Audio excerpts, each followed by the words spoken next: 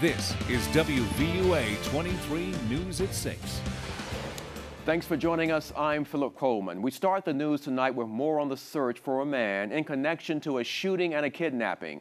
60-year-old John Barry Hubbard allegedly kidnapped his ex-girlfriend and shot his ex-girlfriend's sister to death. He is still at large.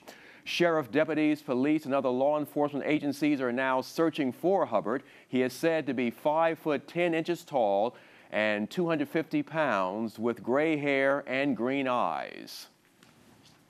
The suspect has left the scene in a white Chevy pickup truck, and he has also taken a white female with him uh, against her will. Police believe he kidnapped and is traveling with this woman, 46-year-old Tammy Carpenter. She is 5 foot 3 inches tall, 150 pounds with brown hair and brown eyes. Hubbard is driving a white Chevy Silverado with the tag number 7AB 7003. If you have information that could help authorities to find Hubbard, call area code 205 926 4683.